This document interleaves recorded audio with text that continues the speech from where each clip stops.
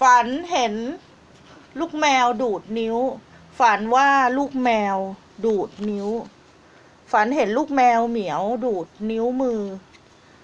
ฝันเห็นลูกแมวเหมียวดูดนิ้วมือของท่าน แปลว่าอะไร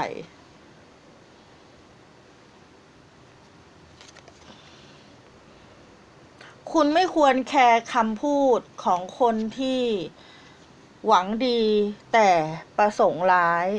ท่านจะได้เจอกับคนที่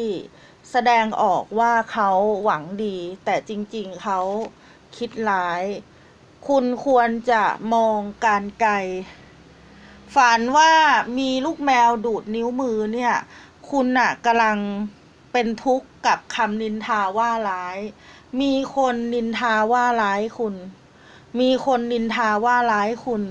แล้วคุณน่ะ เป็นทุกข์อย่างมาก คุณ นินทาคุณถูกคนนินทาว่าร้ายแล้วคุณรู้สึก กลุ้มใจไม่สบายใจ เป็นทุกข์คิดมาก กินไม่ได้ นอนไม่หลับเป็นทุกข์ว้าวุ่นกะวะกะวนวุ่นวายในฤทัยเหลือเกิน คุณเป็นทุกข์และคุณกังวลใจจากสิ่งที่คุณเผชิญ ทีเนี้ยเอ๋จะบอกว่าสิ่งที่มันเกิดขึ้นณเวลาเนี้ยตอนเนี้ยมันก็เป็นไปด้วยกรรมเก่า คุณเป็นคนที่มีความเป็นอยู่สุขสบาย คุณเป็นคนที่มีบุญเยอะ คุณมีความเป็นอยู่ที่สุขสบาย มีคนนินทาว่าร้ายคุณ คุณไม่ควรจะแคร์คนที่เจตนาไม่ดีกับคุณ ให้คุณมองการไกลเหมือน falcon เหมือนเนี่ยนกพญาพญาอินทรีพญาอินทรีมองระยะไกลเพื่อหากระต่าย ให้คุณมองการไกลเหมือนสัตว์ที่สายตาดีที่สุดในโลก สัตว์ที่มีวิวัฒนาการและมีสายตาดีที่สุดในโลกก็คือนกอินทรีไม่ใช่ยีราฟ ยีราฟมันคอยาวมันเลยมองได้ไกล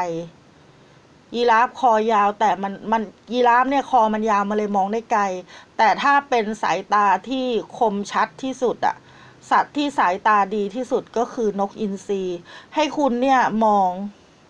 ให้คุณมองระยะไกลอะมองอะไรให้มันชัดๆ ตอนนี้คุณยังไม่เห็นความจริงนะ แต่อีกหน่อยคุณอะจะเห็นความจริง อีกหน่อยคุณจะเห็นความจริง ว่าคนที่คนไหนรักคุณ คนไหนไม่รักคุณเนี่ย คุณจะเห็นความจริง เลขนำโชคหกหกเก้า หกเก้าสองหกหกเก้าสองรับทำนายดวงเป็นการส่วนตัวแบบมีค่าครู ท่านใดที่สนใจกรุณา add LINE มาเท่านั้น ให้ add LINE มาเท่านั้น ฝันเห็นลูกแมวดูดนิ้วเนี่ย ให้ระวังคนนินทาว่าร้ายให้เสื่อมเสียนะคะ ให้ระวังคนนินทาว่าร้ายให้เสื่อมเสีย แต่คุณก็ ควรจะมองการไกลด้วยว่าการที่คุณตกเป็นเป้านินทาก็เพราะว่าเขา